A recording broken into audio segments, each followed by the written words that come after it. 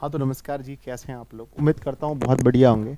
और ये हमारा मॉडल सेट दूसरा है जी, बिहार बोर्ड कक्षा दस। अगर आप एग्ज़ाम देना चाहते हैं दो हज़ार तेईस में मैट्रिक का एग्ज़ाम है आपका तो आपके लिए ये मॉडल सेट बहुत ही ज़्यादा इंपॉर्टेंट है। इसमें हम 48 क्वेश्चंस को देखेंगे और हम उम्मीद करते हैं कि इसमें से कम से कम दो तीन क्वेश्चंस आपके एग्ज़ाम में हूबहू मिलेंगे। तो 15-20 मिनट का समय दे करके आप अगर दो नंबर ला सकते हैं तो इससे अच्छा और क्या हो सकता है? तो आप इस वीडियो को पूरे अच्छे से देखें अपने दोस्तों में शेयर ज़रूर करें अच्छा लगे तो। और अगर आप चैनल पर पहली बार हैं तो आप इसे सब्सक्राइब करके रखिए ताकि आपके फ़ायदे के लिए वीडियोज़ यहाँ पर अपलोड होती रहती हैं। आप मेरे साथ भी आ, मन ही मन जवाब देने का प्रयास करें और देखें आप कितना प्रश्न का जवाब दे सकते हैं। लास्ट में हम आपसे पूछेंगे कि आपने कितना सही किया जी ठीक है ना? एसएसटी में से पहले मैंने एक मॉडल सेट जारी किया था ये दूसरा हमारा है जी। पहला आप देखोगे सबसे पहला क्वेश्चन है कि यूरोपीय सभ्यता का पालना किसे कहते हैं? पहले बच्चों मैंने पढ़ाया है कि यूरोपीय सभ्यता का जो पालना है ना वो यूनान को कहा जाता है। बहुत अच्छे से पढ़ाया आपको। अगला क्वेश्चन है कि 1917 की रूसी क्रांति के समय किस शासनक के समय किस जार का शासक था? यहाँ पर किस नहीं होगा, कौन जार का शासक कौन था? पहले बच्चों 1917 की रूसी क्रांति के समय जार का जो शासक था, वो जो वो कौन था? वो था पहले बच्चों निकोलस द्वितीय। याद कीजिए, निकोलस द्वितीय मैंने पढ़ाया था आपको। अगला क्वेश्चन क्या आता है कि वियतनाम में रहने वाले जो फ्रांसीसी नागरिक थे, जो भी फ्रांसीसी लोग आकर के वियतनाम में रह रहे थे उसको क्या नाम दिया गया था? कहते हैं कि वियतनाम में रहने वाले फ्रांसीसियों को क्या कहते थे? तो बच्चों, कोलोन कहते थे। ऑप्शन नंबर आपका सी सही हो जाएगा। ठीक है ना? कोलोन कहते थे। अगला क्वेश्चन नंबर चार आता है कि किस खनिज को उद्योग की जननी माना जाता है? ठीक है ना? आप कोई भी उद्योग स्टार्ट करो, उसमें जो आपकी मशीन लगे होते हैं ना, उसमें लोहा होता है। इसलिए प्यारे बच्चों, उद्योग की जननी हम कैसे कहते हैं? लोहे को कहते हैं। अगला क्वेश्चन कहते हैं, प्यारे बच्चों, की गोडवाना समूह के कोयले का निर्माण हुआ था। ठीक है ना, गोडवाना समूह के कोयले का निर्माण, बड़ा कन्फ्यूजिंग क्वेश्चन है। कहीं आपको 20 लाख मिलेगा, कहीं 20 करोड़ मिलेगा, ठीक है ना? तो फ़िलहाल अभी मैं कहता हूँ 20 करोड़ वर्ष पहले हुआ था। कब हुआ था? 20 करोड़ वर्ष पहले हुआ था। ठीक है ना? चलो, अगर इसमें आप लोगों को कुछ संदेह होते बार मैं बुक देखूँगा बढ़िया से तो फिर करा दो। मेरे ख्याल से 20 करोड़ ही होना चाहिए। नेक्स्ट क्वेश्चन नंबर छः आता है कि भारत में किस प्रकार की कृषि की प्रधानता है? बच्चों, भारत में जितने भी लोग कृषि मतलब खेती करते हैं ना कुछ, है ना, कोई ऐसे नहीं है कि मतलब बहुत ज़्यादा बिजनेसमैन है, बहुत ज़्यादा खेती से कुछ हो जाता है, ऐसा कोई बड़ा बात नहीं है। भारत में जो लोग खेती करते हैं, वो सिर्फ़ अपना जीवन चलाने के लिए करते हैं। तो इसलिए हम कह सकते हैं कि भारत में जितने भी कृषि होते हैं, वो जीवन निर्वाहक कृषि होती हैं। अगला क्वेश्चन आता है कि इनमें सत्ता की साझेदारी एक सही लाभ क्या है? सत्ता में साझेदारी करने का सही लाभ क्या है? आप लोग सिविक्स का ये क्वेश्चन नहीं पढ़ाए आज तक आपको, लेकिन मैं आपको बता देता हूँ कि सत्ता में साझेदारी करना इसका सबसे बढ़िया लाभ ये होता है ना कि समुदायों के मध्य में टकराव कम हो जाता है। जब देखते हैं कि हर समुदाय के लोग, हर धर्म के लोग देश की सत्ता में भाग ले रहे हैं तो उनके बीच जो है ना टकराव कम हो जाता है। तो सबसे मेन यही है इसका ऑप्शन नंबर सी सही होगा। चलिए आगे बढ़ते हैं। अगला क्वेश्चन आपके सामने देखेंगे। क्वेश्चन नंबर एट है। कहते हैं कि नगर निगम के मुख्य प्रशासक को कहा जाता है। बच्चों, नगर निगम जो होते हैं ना, उसके जो मुख्य प्रशासक होते हैं उसे हम लोग क्या कहते हैं? नगर आयुक्त कहते हैं। ऑप्शन नंबर डी आपका सही होगा। अगला क्वेश्चन है प्यारे बच्चों की, जीवन की भौतिक गुणवत्ता का सूचक क्या है? कैसे पता चले कि किसी भी देश की भौतिक गुणवत्ता अच्छी है? तो उसके दो तीन पैमाने होते हैं। सबसे पहला होता है, जीवन प्रत्याशता क्या है? दूसरा, मौलिक साक्षरता दर क्या है? तीसरा, शिशु मृत्यु दर क्या है? तो ये सभी होंगे। ऑप्शन नंबर डी सही होगा। अगला क्वेश्चन है बच्चों, मुद्रा के प्रमुख कार्य क्या है? तो ये तो आप इकोनॉमिक्स को तो बहुत अच्छा से पढ़ा है। मुद्रा के कार्य हैं विनिमय, संचय, है ना? क्या है पहले बच्चों? विनिमय का मापन है, मूल्य का माप सॉरी विनिमय का माध्यम है, मूल्य का मापक है, मूल्य का संचयन है, सब कुछ है। इनमें से सभी, ये सभी मुद्रा के कार्य हैं बच्चों। अगला क्वेश्चन नंबर ग्यारह आता है, मेजनी का संबंध किससे है? तो पता है आप सभी को कि मेजनी का संबंध किससे है? कार्बोनरी संगठन से था। ऑप्शन नंबर आपका बी सही हो जाएगा। नेक्स्ट क्वेश्चन है, प्यारे बच्चों, की रूस में जार का अर्थ क्या होता है? आपको बोलना है मेरे साथ साथ साथ साथ बोलोगे ना तो आपकी तैयारी होगी। आपको साथ साथ मेरा बोलना भी है। ठीक है ना? तो रूस में जार का अर्थ क्या होता है? तो रूस का जार का अर्थ होता है, बच्चों, रूस का सम्राट। बहुत सारे बच्चे गलती में रूस का सामंत मार देते हैं। बिल्कुल भी आपको गलती नहीं करना है, सामंत नहीं मारना है, रूस का सम्राट होता है, ठीक है? चलो, अगले क्वेश्चन में चलते हैं, कहते हैं, हुआ हुआ आंदोलन, किस प्रकृति का था? तो प्यारे बच्चों, मैंने बताया था ना कि हुआ हुआ आंदोलन क्या था? क्रांतिकारी था, धार्मिक था बौद्ध धर्म को मानते थे। तो क्रांतिकारी था, धार्मिक था, ठीक है ना? तो ऑप्शन क्या हो जाएगा आपका? डी नंबर होगा। क्रांतिकारी और दूसरा धार्मिक भी था। ठीक है, अगला क्वेश्चन है प्यारे बच्चों, भारत में खिलाफत आंदोलन की शुरुआत कब से हुई थी? तो खिलाफत आंदोलन, पता है आपको, तुर्की के सुल्तान के समर्थन में खिल, है ना? उनके खलीफा पद को हटा दिया गया था, इसलिए खिलाफत आंदोलन किया गया था, गांधी जी ने भी सहयोग किया था 1920 ईस्वी में। अगला क्वेश्चन है प्यारे बच्चों की 1917 ईस्वी में भारत में पहला जूट मिल कहाँ खुला था? ये आप लोग ज्योग्राफी में पढ़ेंगे, जूट मिल कहाँ खुला था? जूट मिल बच्चों, कहाँ पर? कोलकाता में खुला था, याद कर लीजिए। या पढ़ेंगे या फिर नहीं पढ़ेंगे भी तो आप सही कर लो कोई दिक्कत है नहीं इसमें। अगला क्वेश्चन है बच्चों, पूंजीपति वर्ग के द्वारा किस वर्ग का शोषण हुआ? देखो, जिसके पास पूंजी था ना, उन्होंने हर वर्ग का शोषण किया, कोई भी वर्ग रहे, सबको पकड़ के एकदम शोषित किया सबका। तो पूंजीपति वर्ग ने बच्चों, सभी वर्गों का शोषण किया था। अगला क्वेश्चन आता है कि प्राचीन काल में किस स्थल मार्ग से एशिया और यूरोप का व्यापार होता था? अभी की बात नहीं हो रही है, प्राचीन काल में। तो प्राचीन काल में प्यारे बच्चों किस स्थल मार्ग से? तो याद रखना बच्चों, रेशम मार्ग से। किसे? रेशम मार्ग से। अगला क्वेश्चन आता है हमारा कि गुटेनबर्ग ने सर्वप्रथम पुस्तक की छपाई की। यहाँ किस छूट गया? गुटेनबर्ग ने सबसे पहले किस पुस्तक की छपाई की? बच्चों, उन्होंने सबसे पहले बाइबल पुस्तक की छपाई की थी गुटेनबर्ग। इनका है ना, इनका जन्म कहाँ हुआ था बच्चों? पूछा जाता है। तो इनका जन्म जर्मनी में हुआ था गुटेनबर्ग का। ठीक है, जहाँ काल मार्क्स जी हुए थे। अगला क्वेश्चन है, राष्ट्रपिता के नाम से किसे जाना जाता है? बच्चों, सबको पता है कि राष्ट्रपिता हम लोग किसे कहते हैं। गांधी जी को कहते हैं तो ऑप्शन बी हो जाएगा महात्मा गांधी। अगला क्वेश्चन लिखा गया है, कौन सा सामाजिक वर्ग, बुद्धिजीवी वर्ग वर्ग के रूप में उभर कर आया? ठीक है तो जो भी बुद्धिजीवी कौन से वर्ग बने? तो जो मध्यम वर्ग थे बच्चों, वो लोग क्या बन गए? बुद्धिजीवी वर्ग बन गए। तो ऑप्शन नंबर डी आपका सही हो जाएगा। अगला क्वेश्चन है बच्चों कि, जब हम लैंगिक विभाजन की बात करते हैं तो हमारा अभिप्राय क्या होता है? देखो, जब भी हम लैंगिक विभाजन की बात करते हैं, समाज में देखेंगे तो लिंग के आधार पर समाज हमारा बंटा हुआ है। कुछ ऐसे कार्य हैं जो स्त्रियाँ नहीं कर सकती और कुछ ऐसे कार्य जो पुरुष नहीं कर सकते हैं। तो कहते हैं जी कि जब हम लैंगिक विभाजन की बात करते हैं तो हमारा अभिप्राय क्या होता है? हमारा अभिप्राय होता है कि समाज द्वारा स्त्रियों और पुरुषों को दी गई असमान भूमिकाएँ। असमान भूमिकाएँ। भूमिकाएँ अलग अलग हैं। अगला क्वेश्चन आता है कि निम्नलिखित में से कौन संघ राज्य की विशेषता नहीं है बच्चों? है ना, भारत क्या है? राज्यों का संघ है। भारत राज्यों का संघ है। इसकी विशेषता क्या नहीं है? भारत में लिखित संविधान है, ये इसकी विशेषता है। शक्तियों का विभाजन होता है, इसकी विशेषता है। सर्वोच्च न्यायालय पाया जाता है भारत में इसकी विशेषता है। लेकिन बच्चों इकहरी शासन व्यवस्था, ये हमारी विशेषता नहीं है ऑप्शन नंबर सी यहाँ पर इकहरी शासन व्यवस्था नहीं है। केंद्र सरकार अलग है, राज्य सरकार अलग है, पंचायती अलग हैं, सब कुछ अलग अलग है। तो ऑप्शन नंबर आपका क्या होगा? सी सही होगा। अगला क्वेश्चन आता है कि इनमें से कौन सी एक बात लोकतांत्रिक व्यवस्थाओं के अनुरूप नहीं है? यानी अगर हमारा देश एक लोकतांत्रिक व्यवस्था है, इसमें कौन सी ऐसी बात है जो उसके अनुरूप नहीं है? पहला ऑप्शन है बच्चों, कानून के समक्ष समानता, ये अनुरूप है। सब लोग कानून के समान मतलब समक्ष समान होते हैं। स्वतंत्र एवं निष्पक्ष चुनाव। सही बात है। उत्तरदायी शासन व्यवस्था, सही बात है। बहुसंख्यों का शासन, ये गलत है।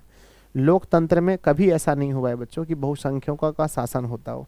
अगर ऐसा होता तो हमारे देश में हिंदू बहुसंख्यक हैं और मुस्लिम लोग अल्पसंख्यक हैं क्योंकि उनकी संख्या कम है। तो ऐसा नहीं है कि हमेशा हिंदू मतलब कि हर क्षेत्र में हिंदू नेता ही जीत कर आते हैं, मुस्लिम भाई भी जीतते हैं। तो ये ये लोकतंत्र में ये क्या है? अनुरूप नहीं है। अगला प्रश्न आता है, बच्चों कि भारत एक लोकतांत्रिक राज्य है। सही बात है। निम्नलिखित में से किसमें यह घोषणा है? यह बात बच्चों है कहाँ पर लिखी हुई कि भारत एक लोकतांत्रिक राज्य है। ये बात बोला गया है हमारे संविधान के प्रस्तावना में। संविधान की प्रस्तावना अगर आप देखेंगे तो वहाँ पर लिखा गया है है ना है ना, लोकतांत्रिक गणराज हम लोग संविधान पढ़ते थे। हम भारत के लोग, भारत को एक संपूर्ण, प्रभुत, है ना, लोकतांत्रिक गणराज ये सब जो हम लोग पढ़ते थे ना तो उसमें प्यारे बच्चों ये चीज़ आता है। हमारा क्या प्रस्तावना में ये चीज़ लिखा हुआ है। ठीक है? नेक्स्ट हमारा क्वेश्चन क्या आता है?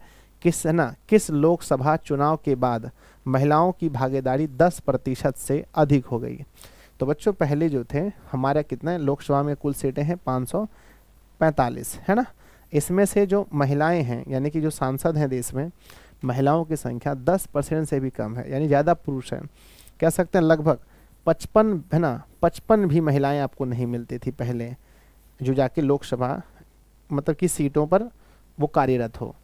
तो ये पंद्रहवीं लोकसभा के बाद बच्चों, दस परसेंट से आंकड़ा बढ़ गया। पंद्रहवीं लोकसभा, याद रखना, कोई गलत नहीं, किसी बुक में सोलहवीं, सत्रहवीं दिया रहेगा, आपको पंद्रहवीं याद रखना है।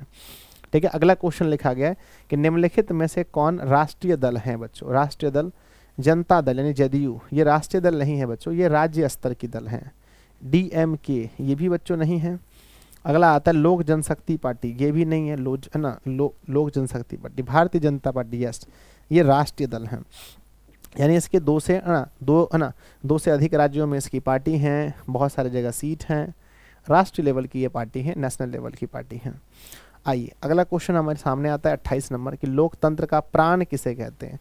बच्चों, देखिए, लोकतंत्र का जो प्राण होता है, हमने कई बार ये क्वेश्चन करा है कि राजनीतिक दल को लोकतंत्र का प्राण कहते हैं। अगला क्वेश्चन आता है कि भारत में संघ एवं राज्यों के बीच अधिकारों का विभाजन कितनी सूचियों में हुआ है? बच्चों, देखो, हमारी जो सूचियाँ बनी है, वो तीन बनी हैं। एक राज्य सूची होगा, एक संघ सूची सॉरी है ना, संघ सूची है, एक होगा बच्चों, समवर्ती सूची। ठीक है ना तो तीन सूचियाँ हैं। जिस पर हमारे आ, मतलब के अधिकार बांटे गए हैं जैसे शिक्षा समवर्ती सूची में आता है। तो भारत में संघ एवं राज्यों के बीच अधिकारों का विभाजन कितनी सूचियों में हुआ है? तो तीन सूचियों में हुआ है। अगला क्वेश्चन है निम्नलिखित में से कौन लोकतंत्र में रंग भेद के विरोधी नहीं थे?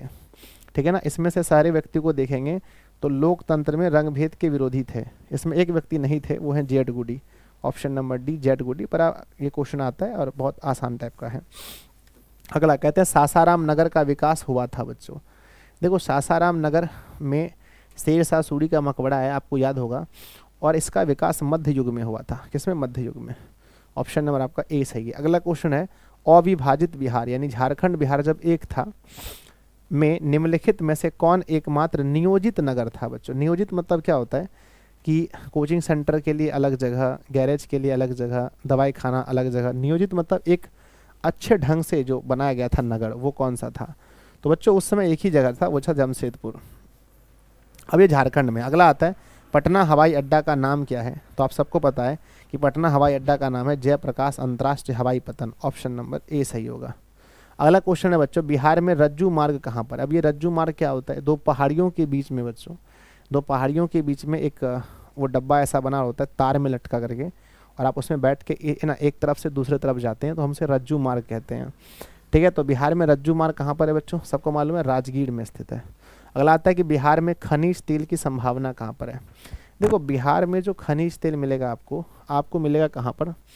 तो हिमालय क्षेत्र में तो नहीं मिलेगा, उत्तर नहीं, दक्षिण बिहार की पहाड़ियों में, खनिज दक्षिण के मैदानी क्षेत्र में, ठीक है ना? दक्षिण बिहार की पहाड़ियों में होना चाहिए, या उत्तर बिहार के मैदानी क्षेत्र में। इसका देखना पड़ेगा बच्चों। एक सेकंड रुक जाएँ आप लोग। मैं एक बार देख लेता हूँ इसका सटीक आंसर क्या दिया है। ठीक है ना? देखें बुक क्या कह रहा है, जब नॉलेज अपडेटेड है ए नंबर कह रहा है बच्चों। हिमालय क्षेत्र में। बिहार बिहार के हिमालय क्षेत्र कहाँ से हो गया जी? ठीक है? देखना आप लोग कमेंट करना है इस क्वेश्चन का आंसर बच्चों। बढ़िया से देख करके एक बार कमेंट करना है, ठीक है? अगला क्वेश्चन आता है कि कावर झील कहाँ पर है? तो बच्चों मैंने ट्रिक बताया था कि कावर जो होता है ना, कावर। कावर जब हम लोग बोलबम जाते हैं, बच्चों, बोलबम तो आप लोग सुने होंगे, बिहार में बहुत फ़ेमस है हमारे यहाँ। बोलबम जब जाते हैं तो जो कावर होता है कंधे पर रखने वाला, उस कावर को बाद में बैग में डाल देते हैं। कहाँ डालते हैं? बैग में। बैग से होता है बेगूसराय। कावर झील कहाँ पर है बच्चों? बेगूसराय में। बेगूसराय में स्थित है। अगला क्वेश्चन है बच्चों, संजय गांधी जैविक उद्यान। यानी ये बच्चों चिड़ियाघर का नाम है, जो पटना का चिड़ियाघर है, उसका नाम है संजय गांधी जैविक उद्यान। कहाँ पर है? पटना में है। अगला आता है बच्चों, ये तो हो गया ना, अगला क्वेश्चन आता है, निम्नलिखित में से कौन? सड़कों का एक वर्ग नहीं है, सड़कों का वर्ग नहीं है। बच्चों, स्वर्णिम चतुर्भुज राजमार्ग, ये तो सड़क ही है। चार जगहों को जोड़ता है, दिल्ली, कलकत्ता, चेन्नई और मुंबई। अगला आता है बच्चों की एक्सप्रेस वे ये भी सड़क है, सीमांत सड़कें ये भी सड़क है। तो पूर्व पश्चिम गलियारा, ये सड़कों का वर्ग नहीं है, सड़कों का एक वर्ग नहीं है बच्चों। अगला क्वेश्चन आता है कि जिस देश का राष्ट्रीय आय अधिक हो, वह देश कहलाता है। इकोनॉमिक्स का क्वेश्चन है। बहुत बढ़िया क्वेश्चन है। राष्ट्रीय अधिक हो तो वह देश क्या कहलाता है? विकसित कहलाता है। ऑप्शन नंबर बी अगला क्वेश्चन है कि भारत के किस राज्य की प्रति व्यक्ति आय सबसे अधिक है? बच्चों, आपने पढ़ा है ना कि सबसे अधिक राज्य है ना, आय कहाँ के लोगों की है? गोवा की सबसे अधिक है और सबसे कम पूछे तो बिहार की। अगला क्वेश्चन है कि निम्नलिखित में से कौन मुद्रा का कार्य नहीं है बच्चों? मुद्रा का कार्य क्या नहीं है? तो विनिमय का माध्यम तो है। मूल्य का मापक भी है, मूल्य का संचयन भी है। पूछा गया कौन सा कार्य नहीं है तो उत्पादन मुद्रा थोड़ी करता है, उत्पादन मुद्रा करता है। नहीं, इंसान करेगा। अगला क्वेश्चन लिखा है कि भारत का केंद्रीय बैंक कौन सा है? तो बच्चों, भारत का केंद्रीय बैंक कौन सा है? Reserve Bank of India option number A Reserve Bank of India Bharat का केंद्रीय बैंक है। इसकी स्थापना कब हुई थी? तो आप कहेंगे, सर, इसकी स्थापना हुई थी 1935 के अंदर। 1935 के अंदर इसकी स्थापना हुई थी। अगला क्वेश्चन है बच्चों की ऊर्जा का मुख्य स्रोत क्या है? अगर हम देखें, ऊर्जा के मुख्य स्रोत कौन कौन से हैं? तो ऑप्शन है बच्चों, कोयला, पेट्रोलियम, विद्युत। तो ये सभी ऑप्शन हैं।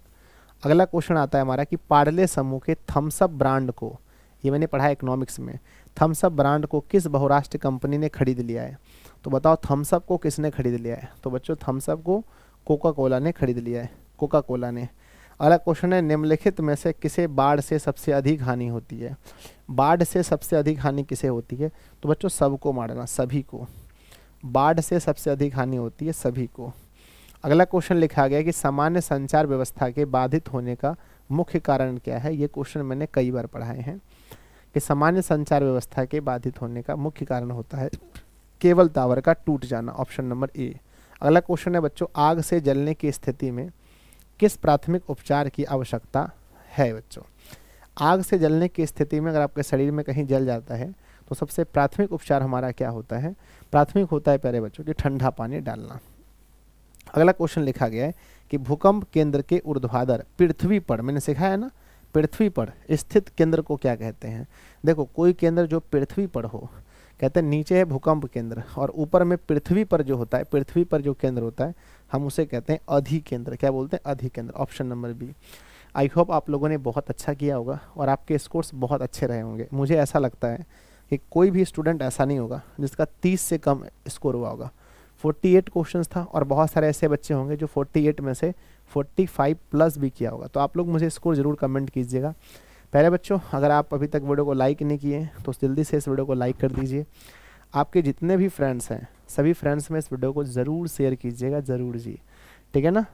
तो पहली बात है, आप लाइक करना बच्चों, और दूसरी बात क्या, आप अपने सभी दोस्तों में से शेयर कीजिए। हमारा एक सपना है जी कि जितने भी टेंथ क्लास के बच्चे हैं बिहार बोर्ड में, जो मोबाइल से पढ़ते हैं, उनके पास हमारा वीडियो जाना चाहिए। क्योंकि मुझे ऐसा लगता है कि ये चीज़ें बहुत ज़रूरी है बच्चों के लिए। क्योंकि जहाँ तहाँ से पढ़ने से अच्छा है, एक अच्छी जगह से वो पढ़े ताकि उनके क्वेश्चंस एग्ज़ाम में बने बच्चों। ऐसा नहीं कि कुछ भी पढ़ लेने से नहीं होता, है ना? तो आप लोग ज़रूर शेयर करें और अगर आप हमारे, अभी तक हमारे व्हाट्सअप पर नहीं जुड़े हैं पेड व्हाट्सअप पर बच्चों पेड व्हाट्सअप पर अगर आप नहीं जुड़े अभी तक तो आप ज़रूर जुड़ जाएँ, है ना? जुड़ने के लिए हमारा नंबर है double seven double zero eight seven nine four five three इस नंबर पर आप कॉल करें हमें, या फिर व्हाट्सअप पर, प्यारे बच्चों, आप हमारा नोट्स लेकर के घर बैठे अच्छे से पढ़ सकते हैं। बहुत बढ़िया से बहुत सारे बच्चे जुड़ के हज़ारों बच्चे पढ़ रहे हैं, आप भी पढ़ें, आपका नंबर अच्छा है, हम ऐसा चाहते हैं। ठीक है ना? बल्कि आप लोगों के कुछ प्रश्न हैं, अगर तो नीचे कमेंट ज़रूर कीजिए कि सर कुछ है तो क्लास कैसा लगा ज़रूर बताइएगा नीचे, ठीक है? बाकी क्लासेस वगैरह मिलते रहेंगे आपको चैनल को सब्सक्राइब करके रखिए। एग्ज़ाम के टाइम में ये चैनल आपके लिए बहुत अच्छा होगा, मुझे पूरा विश्वास है रामबान साबित होगा। धन्यवाद जी, तब के, है ना?